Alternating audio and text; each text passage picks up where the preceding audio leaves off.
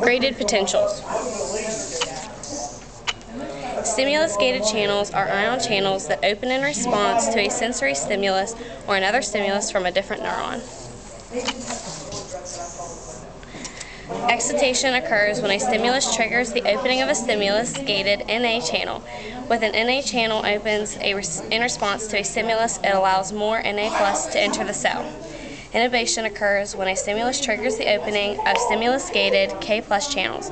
As K plus leaves the channels, the excess positive ions outside the plasma membrane increase.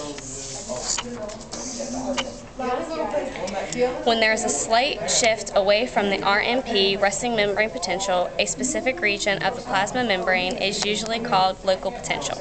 Local potentials are known as graded potentials because the size of deviation is proportional to the size of the stimulus. Mr. Soto, I have Amanda Allen to the office?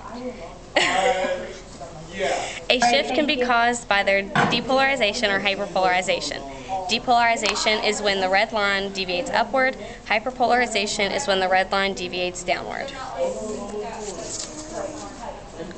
Local potentials are recorded using a voltmeter. The red line is the red line shows the RMP.